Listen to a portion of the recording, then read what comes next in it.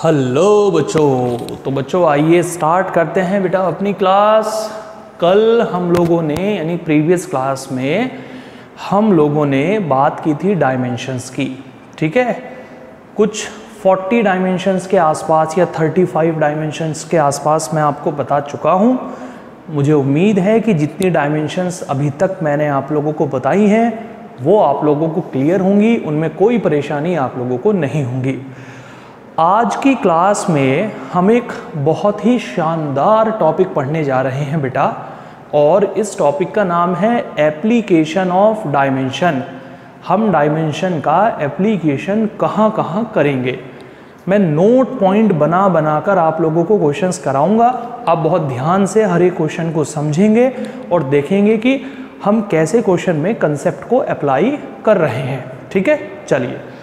तो सबसे पहले हम लिखते हैं, बेटा, अपने टॉपिक का नाम। टॉपिक है हमारे पास में एप्लीकेशन ऑफ़ डाइमेंशन बेटा कंपटीशन एग्ज़ाम में काफ़ी क्वेश्चन बनते हैं यहाँ से और बहुत अच्छे तरीके से आप लोगों को देखना है। टॉपिक है हमारे पास में एप्लीकेशन ऑफ़ डायमेंशन मैं नोट पॉइंट बना बनाकर आपको कंसेप्ट बताऊँगा। देखो बेटा नोट पॉइंट नंबर वन ये है। सेम ध्यान रखिएगा। अगर हम दो क्वांटिटीज को आपस में ऐड करते हैं, या हम दो क्वांटिटीज को आपस में माइनस करते हैं, ध्यान रखिएगा। अगर मैं दो क्वांटिटीज को आपस में ऐड करता हूँ, या दो क्वांटिटीज को आपस में माइनस करता हूँ, मान लीजिए ए प्लस बी को जोड़कर आ जाता है सी और ए माइनस बी करके आ जाता है डी ध्यान से। तो बेटा, जो डायमेंशन इसकी होगी, बिल्कुल वही डायमेंशन इसकी होगी, बिल्कुल वही डायमेंशन इसकी होगी। यानी कॉन्सेप्ट ये है कि अगर हम क्वांटिटीज को ऐड करते हैं तो क्वांटिटीज को हम तभी ऐड कर सकते हैं जब उनकी सेम डायमेंशन हो। कैसी डायमेंशन हो? सेम यानी फोर्स के अंदर भैया फोर्स को ही जोड़ सकते हैं। ऐसा नहीं है कि फोर्स के अंदर मास को ऐड कर देंगे, या मास के अंदर लेंथ को ऐड कर देंगे, या लेंथ के अंदर टाइम को ऐड कर देंगे। ऐसा बिल्कुल नहीं होगा। सेम क्वांटिटी में सेम क्वांटिटी को ही जोड़ा जाता है। सुनने में तो ये बात बड़ी आसान सी लगती है, लेकिन क्वेश्चन काफ़ी बनते हैं इसके ऊपर। तो आप लोग ध्यान रखिएगा A plus B equal to C तो जो डायमेंशन इसकी होगी बिल्कुल वही डायमेंशन इसकी होगी और बिल्कुल वही डायमेंशन इसकी होगी। बिल्कुल इसी तरीके से आप लोग नीचे आ जाइए। अगर मैं माइनस करता हूँ बेटा तो जो डायमेंशन इसकी होगी, बिल्कुल वही डायमेंशन इसकी होगी, बिल्कुल वही डायमेंशन इसकी होगी। ऐसा होगा सिर्फ़ प्लस में और माइनस में, यानी एडिशन में और सब्ट्रैक्शन में। और कहीं ऐसा बिल्कुल नहीं होगा तो ध्यान रखिएगा आप लोग। अगर आप ऐड करेंगे तो तीनों की डायमेंशन सेम है। और अगर आप माइनस करेंगे, तब भी तीनों की डायमेंशन सेम है। ये बात आपको बहुत अच्छे तरीके से बेटा याद रखनी है। अब हम इसके ऊपर आपको बताते हैं एग्ज़ाम्पल एग्ज़ाम्पल नंबर वन है हमारे पास में ये। जैसे मैंने लिखा force is equal to small a plus small b अब आप देखो, इधर क्या लिखा हुआ है? फोर्स। यहाँ क्या लिखा हुआ है? ए और यहाँ क्या लिखा हुआ है? बी अगर ये फोर्स है ना बेटा, अगर ये फोर्स है और ये ए और बी के बीच में प्लस का साइन है तो डेफिनेटली ये जो ए है, ये भी फोर्स को ही रिप्रेजेंट करता है, ध्यान रखिएगा। और ये जो बी है ना आपका, ये भी बेटा फोर्स को ही रिप्रेजेंट करेगा। ये भी आपका फोर्स को ही रिप्रेजेंट करेगा। तो यहाँ से हम ये कह सकते हैं कि जो ए की डायमेंशन होगी हमारी, वो फोर्स की डायमेंशन के इक्वल होगी और वो रहने वाली है M L T minus two similarly बिल्कुल यही डायमेंशन रहेगी हमारी बी की. समझ रहे हो बेटा? जो डायमेंशन ए की होगी, बिल्कुल वही डायमेंशन बी की होगी और दोनों की डायमेंशन हमारी फोर्स के इक्वल होगी. तो ये बात बड़ी इंपॉर्टेंट है जो आपको अच्छे तरीके से याद रखनी है. जैसे, हमारे पास में एग्ज़ाम्पल नंबर टू कुछ ऐसे बना। इधर लिखा हुआ है कैपिटल ए यहाँ लिखा हुआ है स्मॉल ए यहाँ लिखा हुआ है स्मॉल बी और यहाँ लिखा हुआ है टाइम अब देखो तुम्हें खुद ब खुद इस बात का पता लगा लेना है। देखो यार, ये क्या है हमारे पास में? भैया, ये क्या है हमारे पास में? ये अकेला है हमारे पास में टाइम तो यार हम जानते हैं कि टाइम के अंदर हम टाइम को ही ऐड कर सकते हैं तो डेफिनेटली बी भी क्या होगा? बी भी होगा हमारा टाइम ए भी क्या होगा? ए भी होगा हमारा टाइम पूरा ए का टर्म हमारा टाइम होगा. और कैपिटल ए भी क्या होगा? कैपिटल ए भी होगा हमारा time so dimension of time is equal to capital T is equal to dimension of A is equal to dimension of B is equal to dimension of capital A यानी इस equation में जो dimension time की है, वही B की है, वही ए की है और वही कैपिटल ए की है। क्योंकि हम क्वांटिटीज़ को ऐड कर रहे हैं और मैंने जस्ट आपको अभी बताया कि ऐड करते समय ऐड करते समय डायमेंशंस हमारी कैसी रहती हैं? सेम ठीक है? जैसे, आप लोग ये देखो बेटा, हमारे पास में एक छोटा सा एग्ज़ाम्पल और बना। एग्ज़ाम्पल नंबर थ्री यहाँ लिखा मैंने x यहाँ है मेरे पास में y यहाँ है मेरे पास में b यहाँ है मेरे पास में z और यहाँ है मेरे पास में c ये लिखा हुआ है। दिख रहा है आप लोगों को? और मैंने आपसे पूछ लिया कि भैया इक्वेशन ये है। ये जो x है, ये लेंथ को रिप्रेजेंट करता है।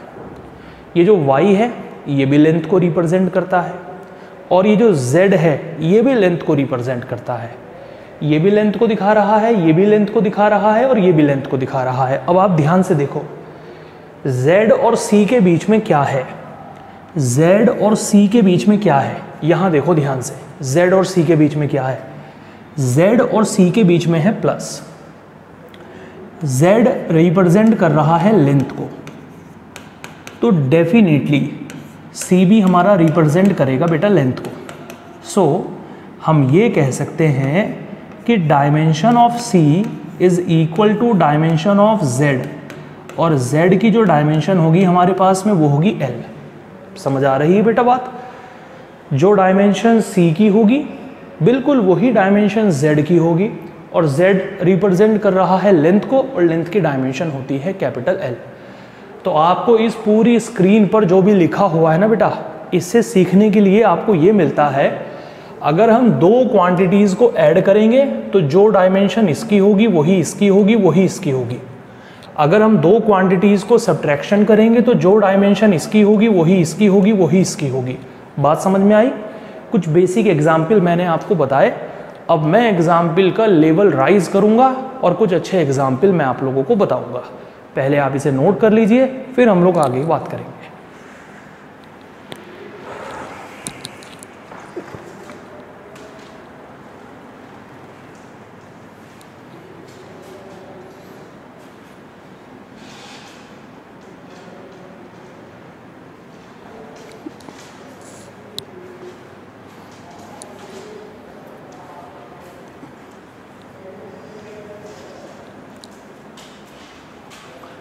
ओके बेटा, बात समझ में आ गई?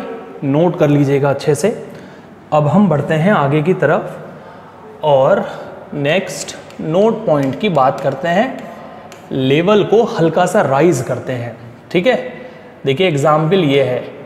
X is equal to A T plus B T square plus C बेटा, ये है हमारे पास में problem x is equal to A T plus B T square plus C what is the dimension of A B and C आपको तीनों की dimension बतानी है कि ए की डायमेंशन क्या होगी बी की डायमेंशन क्या होगी और सी की डायमेंशन क्या होगी। कैसे करेंगे प्रॉब्लम सॉल्व मैं आपको बताता हूँ। लेफ़्ट हैंड साइड में लिखा हुआ है एक्स एक्स की डायमेंशन होती है लेंथ यानी एल ठीक है बेटा, समझ में आ रही बात? तो ये भी पूरा ये पूरा हमारे पास में लेंथ है। ये पूरा भी हमारे पास में लेंथ है और ये पूरा भी हमारे पास में लेंथ है। यानी इसकी जो डायमेंशन रहेगी हमारे पास में वो भी एल के इक्वल रहेगी। इसकी जो डायमेंशन रहेगी वो भी एल के इक्वल रहेगी और इसकी जो डायमेंशन रहेगी वो भी एल के इक्वल रहेगी। सो so, हम ये कह सकते हैं कि जो डायमेंशन ऑफ़ एटी होगी। डायमेंशन ऑफ़ एटी वो रहेगी एल के equal dimension of A T L के इक्वल रहेगी। हमें निकालनी है ए की डायमेंशन। तो ये टी पहुँच जाएगा इधर। ये बन जाएगा L T minus one A की डायमेंशन निकल गई एल टी माइनस वन इसके बाद देखो, जो बी टी स्क्वायर है, इसकी डायमेंशन रहेगी एल के इक्वल बी टी स्क्वायर की जो डायमेंशन रहेगी बेटा, वो भी रहेगी हमारी एल के इक्वल और यहाँ से बी की जो वैल्यू निकल कर आएगी, वो आएगी एल टी स्क्वायर उधर चला जाएगा तो एल टी माइनस टू बात समझ में आ रही है? Dimension of B is equal to L T minus two finally last condition जो हमारे पास में है, यहाँ अकेला सी है और ये लेंथ है. तो हम लिख सकते हैं dimension of C is equal to dimension of L A की डायमेंशन है एल टी माइनस वन अब याद करिए एल टी माइनस वन किसकी डायमेंशन होती है? वेलोसिटी की. बी की डायमेंशन है एल टी माइनस टू ये किसकी डायमेंशन होती है? एक्सीलरेशन की. समझ आ रही है बेटा बात? तो ये कंडीशन हमारे पास में निकल कर आएगी. एक एग्ज़ाम्पल हमारे पास में हो गया है ये. ऐसा क्वेश्चन आप लोगों से पूछा जाएगा. थोड़ा सा आगे बढ़ते हैं और नेक्स्ट एग्ज़ाम्पल की हम लोग बात करते हैं। बेटा नेक्स्ट कंडीशन है मेरे पास में ये। X is equal to capital A V plus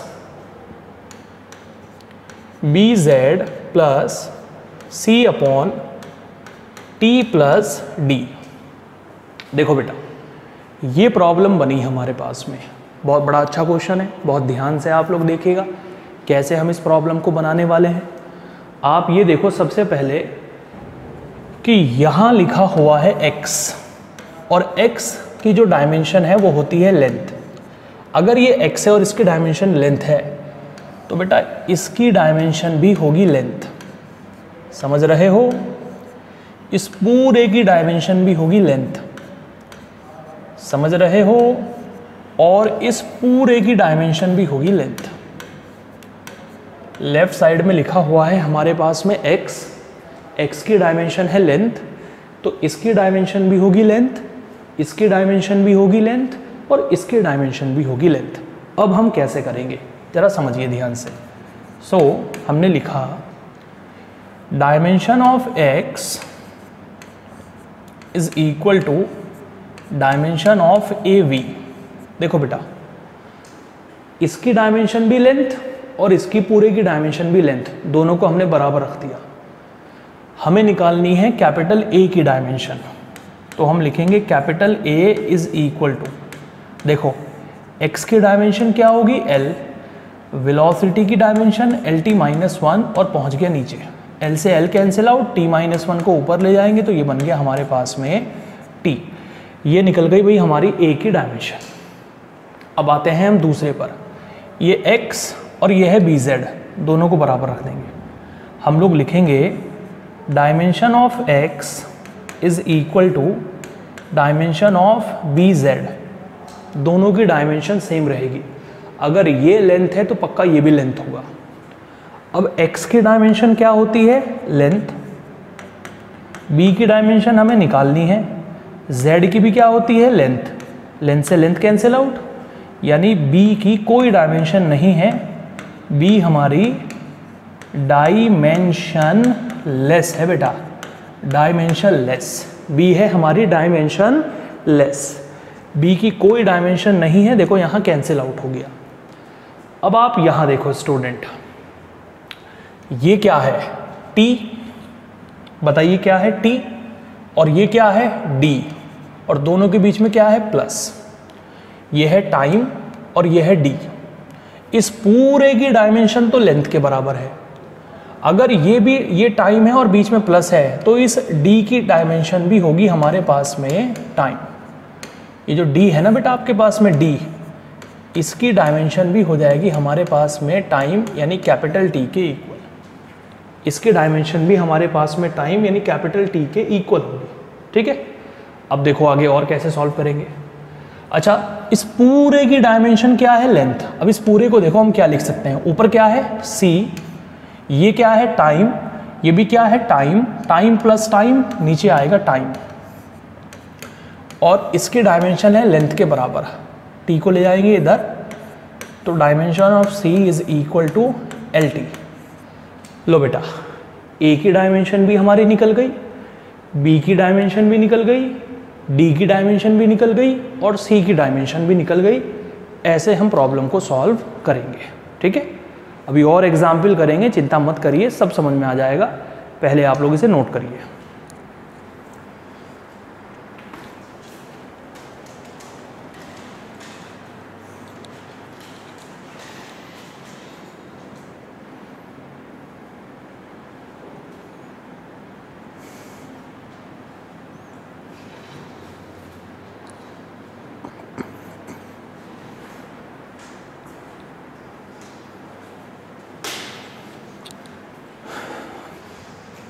चलिए बच्चों। अब हम बात करते हैं आगे और देखिए कि नेक्स्ट नोट पॉइंट क्या आता है हमारे पास में। थोड़ा सा और आगे बढ़ जाते हैं और देखते हैं कि नेक्स्ट नोट पॉइंट क्या आता है बेटा हमारे पास में। कंडीशन ये है F, यानी force is equal to capital A into X plus capital B into X square और यहाँ है कैपिटल C इंटू टाइम ठीक है? ये दे रखी है बेटा हमें equation force is equal to A X plus B X square plus C T हमें बताना है what is the dimension of A B C अब मुझे एक बात बताइए लेफ़्ट साइड में क्या लिखा हुआ है? लेफ़्ट साइड में लिखा हुआ है फोर्स तो पक्का ये भी फोर्स है? ये भी फोर्स है? और ये भी हमारा फोर्स है। तो हम क्या करेंगे बेटा? फ़र्स्ट ऑफ़ ऑल जब हम इसका आंसर बनाएँगे तो हम इसको सीधा फोर्स के बराबर रखेंगे। फोर्स के डायमेंशन के बराबर रखेंगे। Dimension of A X is equal to dimension of force मैंने आपसे कहा ना कि लेफ़्ट साइड में अगर फोर्स लिखा हुआ है ना तो ये सारी क्वांटिटी हमारी फोर्स है। अब हम कैसे करेंगे? ज़रा ये देखो। कैपिटल ए की डायमेंशन हमें निकालनी है। X पहुँच जाएगा फोर्स के अपॉन में फोर्स अपॉन x अब आप मुझे ये बताइए कि फोर्स की डायमेंशन क्या है?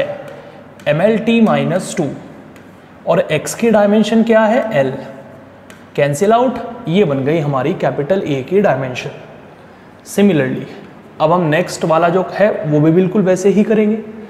इस बार हम बी एक्स स्क्वायर को dimension of B X square को हम बराबर रखेंगे डायमेंशन ऑफ़ फोर्स के। जो हमारी फोर्स की डायमेंशन है, वो बी एक्स स्क्वायर की डायमेंशन के बराबर होगी। तो बेटा देखो कैपिटल बी की डायमेंशन यहाँ से क्या निकल कर आएगी? कैपिटल बी की डायमेंशन निकल कर आएगी फोर्स अपॉन एक्स स्क्वायर अब फोर्स की डायमेंशन क्या है हमारी? फोर्स की डायमेंशन है M L two M L T minus two X square की डायमेंशन क्या है? एल स्क्वायर ये इससे कैंसिल आउट एल से हमारा स्क्वायर कैंसिल आउट हो गया। और हमारी b की डायमेंशन निकल चुकी है. Dimension of b is equal to M L minus one T minus two this is the dimension of b. उम्मीद है कि बात समझ आई होगी आप लोगों को. और बिल्कुल सिमिलरली आप लोगों को करना है लास्ट पॉइंट लास्ट पॉइंट में आप क्या करेंगे? आप रखेंगे डायमेंशन ऑफ़ फोर्स को डायमेंशन ऑफ़ सी टी के इक्वल और यहाँ से सी की जो डायमेंशन निकल कर आएगी, वो आएगी फोर्स अपॉन टाइम करके। ये आएगी हमारी सी की डायमेंशन निकल कर फोर्स की डायमेंशन हो जाएगी M L T minus two और t की डायमेंशन अपॉन में t रहेगी सॉल्व करेंगे, वहाँ से हमारी c की डायमेंशन निकल जाएगी। तो बेटा अच्छा क्वेश्चन है। कैसे हमने सॉल्व किया? ये आप लोग अच्छे तरीके से ध्यान रखेंगे। ये बहुत ज़रूरी है कि कैसे हमने कंसेप्ट इसके ऊपर अप्लाई किया है, ठीक है? अब आते हैं हम लोग नेक्स्ट प्रॉब्लम में। देखिए नेक्स्ट प्रॉब्लम है हमारे पास में capital E is equal to A minus X square upon four into B ये हमें एक इक्वेशन दे रखी है बेटा, ध्यान से बिल्कुल। बड़ा अच्छा सवाल है और बहुत ध्यान से आप लोगों को करना है, ठीक है? इक्वेशन है हमारे पास में, capital E equal to A minus X square upon four B हमें बताना है what is the dimension of A and B अब आप ये देखो यार कि ये जो कैपिटल ए है और ये जो एक्स स्क्वायर है, इनके बीच में क्या है? माइनस और जिनके बीच में माइनस या प्लस होता है, उनकी डायमेंशन होती है. सेम मैं आपको बता चुका हूँ. सो फ़र्स्ट ऑफ़ ऑल हम लोग लिखेंगे dimension of A is equal to dimension of X square सबसे पहले हम ये लिखेंगे बेटा, क्योंकि ए और एक्स स्क्वायर के बीच में माइनस का साइन है तो इसीलिए इन दोनों की डायमेंशन है सेम अब आप जानते हो कि x का मतलब लेंथ से है। ये जो x है आपके पास में यहाँ पर, इस x का मतलब है लेंथ से। और लेंथ की डायमेंशन होती है हमारे पास में एल स्क्वायर लो भैया ए की डायमेंशन निकल गई हमारे पास में एल स्क्वायर अब बढ़ते हैं आगे और देखते हैं कि नेक्स्ट रिज़ल्ट क्या है हमारे पास में। तो भैया हम ये कह सकते हैं अब डायमेंशन ऑफ़ ई यानी ये जो लेफ़्ट साइड में लिखा हुआ है ना पूरा ई e, इस पूरे की डायमेंशन इधर वाले की डायमेंशन के बराबर होगी अपॉन फोर बी बताओ होगी या नहीं होगी? भाई हमेशा, अगर कोई फॉर्मूला आपके सामने लिखा हुआ है तो हमेशा लेफ़्ट साइड की डायमेंशन राइट साइड की डायमेंशन के बराबर होनी चाहिए। ये तो रूल होता है। अगर लेफ़्ट साइड की डायमेंशन राइट साइड की डायमेंशन के बराबर नहीं होगी तो फॉर्मूला वैलिड ही नहीं होगा हमारा। बात समझ में आ रही है आप लोगों को? तो ये सिचुएशन है हमारे पास में। अब आप देखो बेटा कैपिटल ई e का मतलब है एनर्जी और एनर्जी की डायमेंशन है हमारे पास में ये। M L two T minus two ठीक है? एक तो यहाँ कैपिटल ए लिखा है। एक यहाँ एक्स स्क्वायर लिखा है। एक बीच में माइनस लिखा है। तो इनकी अलग अलग डायमेंशन लेने की कोई ज़रूरत नहीं है। कैपिटल ए की डायमेंशन क्या है? एल स्क्वायर और एक्स स्क्वायर की भी एल स्क्वायर तो इनमें से कोई भी एक ले लो आप। यानी ऊपर वाले पोर्शन की डायमेंशन हो जाएगी एल स्क्वायर ठीक है बेटा? अब ये जो फोर है, ये तो नंबर को रिप्रेजेंट करता है। इसकी तो कोई डायमेंशन होती ही नहीं है। अपॉन में हो गया हमारे पास में बी अब हम बी की डायमेंशन निकालते हैं। इससे ये कैंसिल आउट और डायमेंशन ऑफ़ बी हमारे सामने निकल कर आया एम माइनस वन एल की पावर ज़ीरो टी की पावर प्लस टू ये निकल कर आया हमारे पास में। एम चला गया उधर। M की पावर माइनस वन एल तो कैंसिल आउट हो ही गया है और ये बन चुका है हमारे पास में t की power plus two this is the dimension of a और ये है हमारे पास में b की डायमेंशन ध्यान से करेंगे आप लोग सॉल्व कर लीजिए नोट डाउन फिर आगे बढ़ते हैं हम लोग.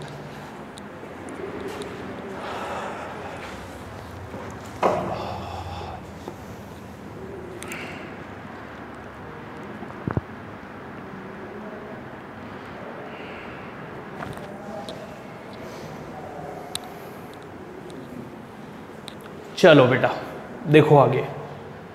नेक्स्ट पॉइंट क्या है अपने पास में? नेक्स्ट पॉइंट है अपने पास में, आप लोगों को एक इक्वेशन दे रखी है।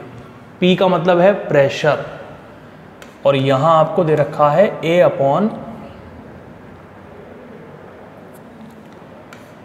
वी स्क्वायर यहाँ आपको दे रखा है V माइनस के B और यहाँ आपको दे रखा है आर टी ये हमारे पास में ना एक इक्वेशन है बेटा।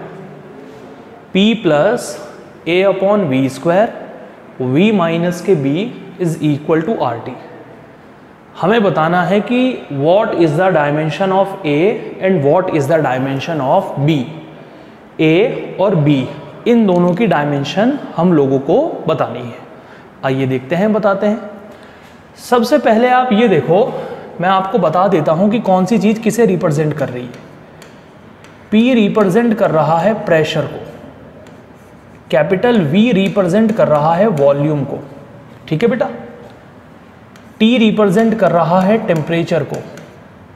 और आर रिप्रेजेंट कर रहा है गैस कांस्टेंट को। हालाँकि इनमें से आधी चीज़ों की हमें ज़रूरत नहीं पड़ेगी, लेकिन फिर भी हमने आपको बता दिया। तो अब आप ये देखो भाई, सबसे पहले हम निकालते हैं ए की डायमेंशन पी क्या है? प्रेशर वी क्या है? वॉल्यूम और बीच में कहाँ का साइन है? प्लस हमने आपको पढ़ाया, जब दो क्वांटिटीज़ के बीच में प्लस का साइन होता है, इसका मतलब यह है कि उन दोनों की डायमेंशन सेम है। तो हम यहाँ लिख सकते हैं dimension of pressure is equal to dimension of A upon V square ये हम लिख सकते हैं बेटा। मैंने आपको कई बार बता दिया है, अब घबराना नहीं और बिल्कुल आपको अच्छे तरीके से याद होना चाहिए। P और A अपॉन वी स्क्वायर के बीच में प्लस का साइन है, इसका मतलब यह है कि इन दोनों की डायमेंशन सेम है। हमें निकालनी है डायमेंशन ऑफ़ A हमें A की डायमेंशन निकालनी है। सो so, A की डायमेंशन निकालने के लिए हम वी स्क्वायर को ले गए इधर। ये बन गया पी वी स्क्वायर समझ आ रही? बेटा बात। अब पी का मतलब क्या है? प्रेशर जिसकी डायमेंशन आपको याद होनी चाहिए। प्रेशर की डायमेंशन है M L minus one T minus two V क्या है? वॉल्यूम वॉल्यूम की डायमेंशन है एल की पावर थ्री का होल स्क्वायर बात समझ में आ रही है बेटा? So dimension of A is equal to M L minus one T minus two L to the power six so dimension of A is equal to M ये L minus one ये L की power six तो ये हो गया हमारे पास में एल की पावर फाइव और ये है हमारे पास में टी की पावर माइनस टू तो बेटा निकल चुकी है हमारी ए की डायमेंशन और ए की डायमेंशन है एम एल की पावर फाइव टी की पावर माइनस टू उम्मीद है कि बात समझ आई होगी। अब हम निकालते हैं बी की डायमेंशन आप जरा इस ब्रैकेट को ध्यान से देखो, इस ब्रैकेट को। वी क्या है? वॉल्यूम बी क्या है? कांस्टेंट बी की डायमेंशन हमें बतानी है। और बीच में कहाँ का साइन है? माइनस। अब मैंने आपसे कहा, चाहे बीच में प्लस का साइन हो या बीच में माइनस का साइन हो, उनकी डायमेंशन कैसी रहती है? सेम तो हम क्या कह सकते हैं? हम ये कह सकते हैं कि जो v की डायमेंशन होगी, बिल्कुल वही डायमेंशन होगी b की। V और b की डायमेंशन सेम होगी। So dimension of b is equal to volume की डायमेंशन होती है बेटा एल की पावर थ्री लो भाई साहब, ये निकल गई है हमारी बी की डायमेंशन और ये निकल गई है हमारी ए की डायमेंशन। ऐसे हम प्रॉब्लम को बनाने वाले हैं। उम्मीद है कि आप लोगों को प्रॉब्लम समझ आई हो। ये बहुत अच्छा क्वेश्चन है, ठीक है? नोट डाउन करिए आप लोग।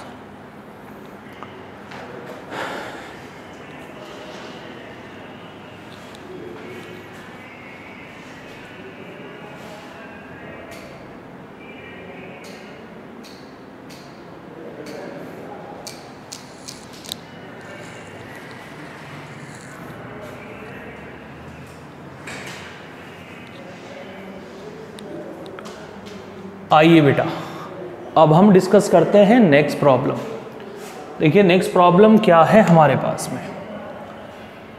बेटा नेक्स्ट क्वेश्चन है हमारे पास में कैपिटल ई e है एनर्जी समझ रहे हो?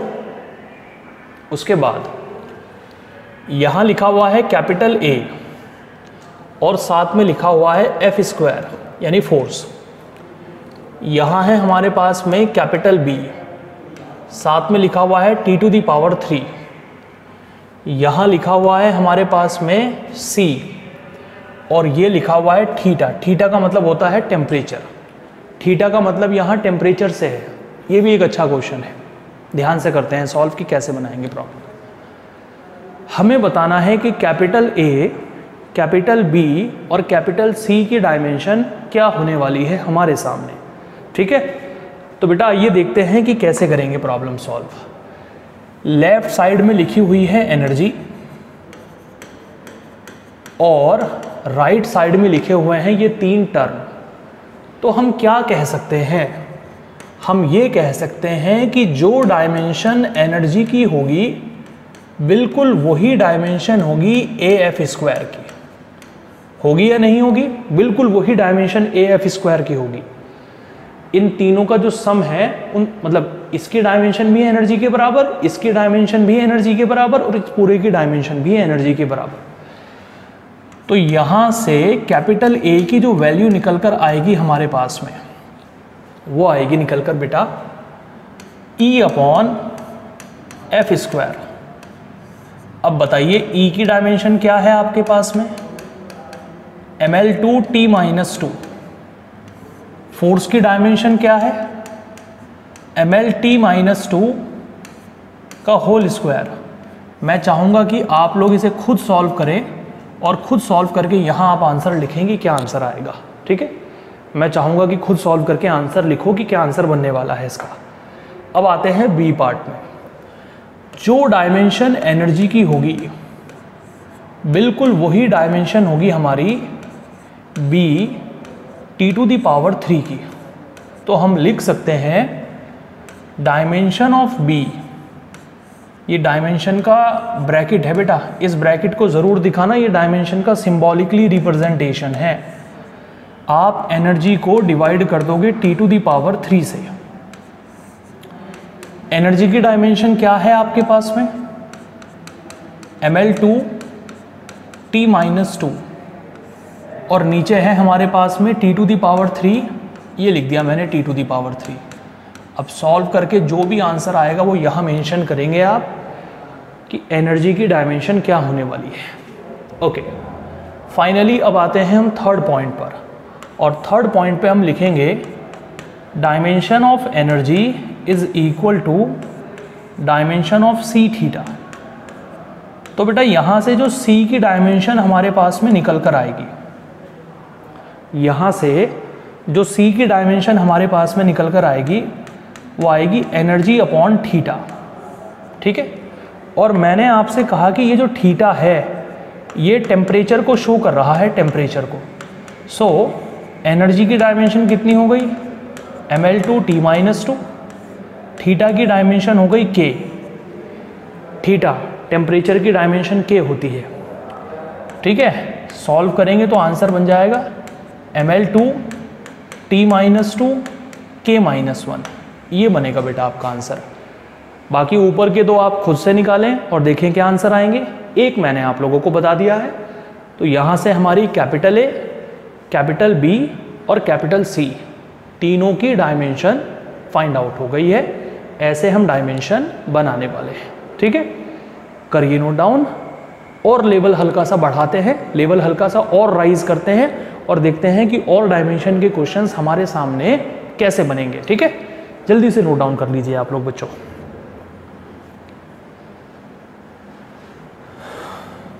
चलिए नेक्स्ट बेटा, हम बढ़ते हैं अब नेक्स्ट क्वेश्चन की तरफ़।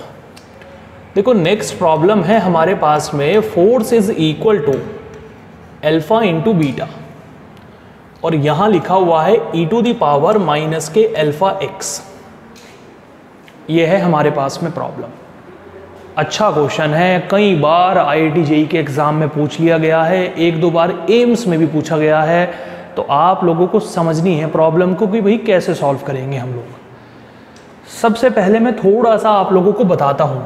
ये जो, ये दिख रहा है ना ई आप लोगों को बेटा ई इस ई को हम लोग बोलते हैं exponential function exponential function exponential function और ये एक्सपोनेंशियल फ़ंक्शन हमेशा डायमेंशन लेस होता है।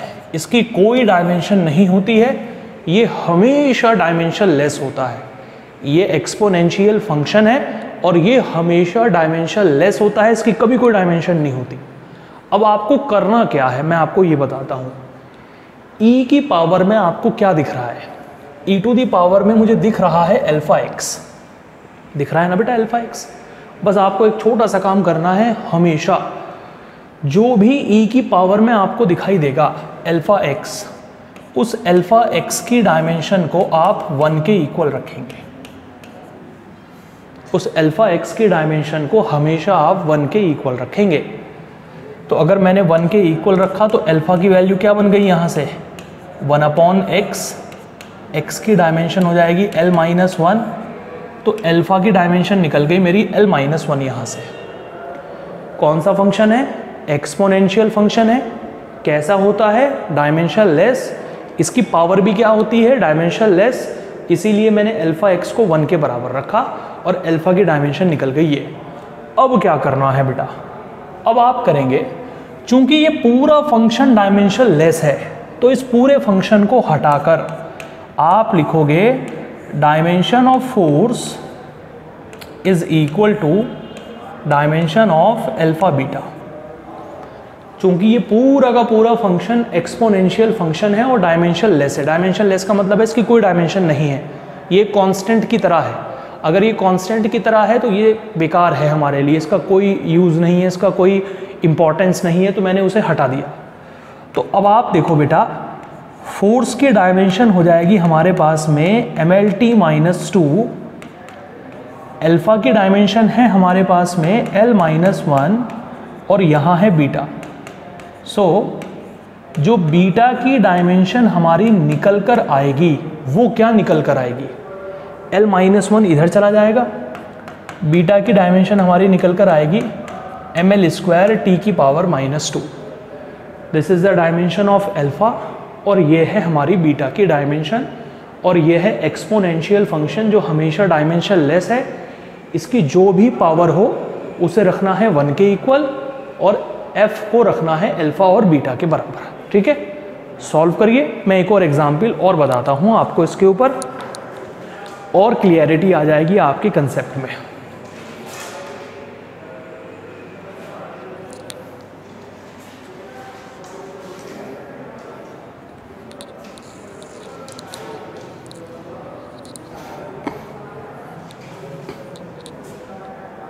ठीक है बेटा?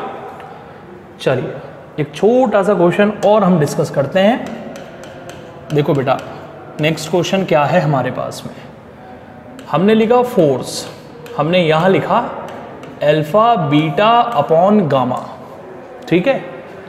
यहाँ मैंने लिखा e टू दी पावर यहाँ मैंने लिखा e to the power minus k alpha x की whole power e to the power beta upon t ये लिखा बेटा मैंने। इस तरीके की प्रॉब्लम आती है। आप लोगों को कंफ्यूज करने के लिए इस तरीके की प्रॉब्लम आएगी।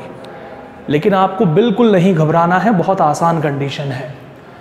देखो, ये जो पूरा, जो मैं ये पूरा बॉक्स बना रहा हूँ, ये पूरा बॉक्स आप लोगों का है बेटा डाइमेंशन लेस ये पूरा बॉक्स आपका डायमेंशन लेस है, क्योंकि ये भी ई e का फ़ंक्शन है और ये भी ई e का फ़ंक्शन है।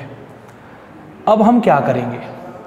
यहाँ बताओ ई e की पावर में क्या लिखा है? यहाँ ई की पावर में लिखा है बीटा अपॉन टाइम और इसकी डायमेंशन को रखा हमने वन के इक्वल सो बीटा की डायमेंशन निकल गई हमारी टाइम के इक्वल और टाइम की डायमेंशन होती है कैपिटल टी ये बन गई इक्वेशन वन हमारे पास में। ये जो ई e की पावर में था, इसे वन के इक्वल रख दिया हमने। चाहे कितना भी पावर बढ़ जाए, कोई दिक्कत नहीं है। जो भी ई e की पावर में हो, चाहे प्लस हो या माइनस हो, उसे वन के इक्वल रख दो। अब आप यहाँ देखो बेटा। यहाँ ई e की पावर में है alpha x so dimension of alpha x is equal to one dimension of alpha is equal to L minus one ये बन गई हमारी इक्वेशन नंबर टू हमें बीटा की डायमेंशन भी मिल चुकी है।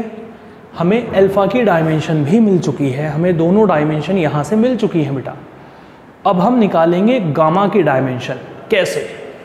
आप लोगों को बस एक काम करना है, क्योंकि ये पूरा बॉक्स तो डायमेंशन लेस है।